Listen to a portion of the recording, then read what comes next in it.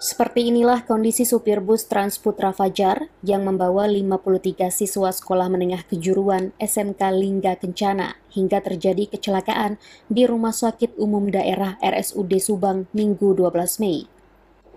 Supir yang bernama Sadira ini mengalami luka di bagian kaki hingga sulit digerakkan akibat kecelakaan maut yang menimbulkan 11 korban jiwa. Sadira pun meminta maaf atas kejadian nahas ini sehingga membuat keluarga korban bersedih.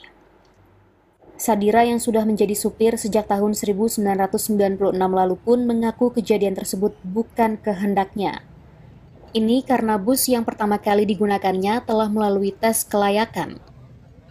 Keluarga-keluarganya saya mohon maaf sebesar-besarnya.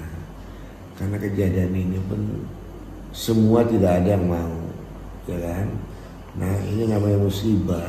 Ya saya mohon maafkan saya ada yang telah tidak ada keluarganya pada saat saya bawa yang terluka berat atau ringan atau meninggal. Saya mohon maaf yang sebesar-besarnya.